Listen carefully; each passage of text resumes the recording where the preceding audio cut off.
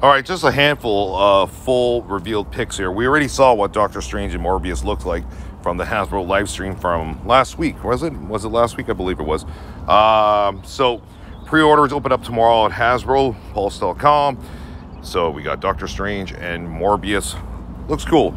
I actually, I really do like the look of this two pack. I like the look of Doctor Strange and Morbius as well. Ironically, I just watched Spider Man, the animated series, 94 uh, over the weekend, you know, just to catch up. And I saw the episode of Morbius, how he turns into Morbius. Pretty cool stuff. Very, very cartoon accurate, no doubt about it. So Hasbro has done a really good job in terms of capturing the likeness of the characters from the Spider Man show. Looks great. So let us know what you guys think. Are you going to pick it up? Are you going to pass on it?